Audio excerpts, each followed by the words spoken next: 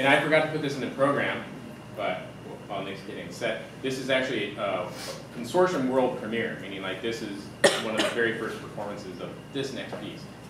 So, go ahead.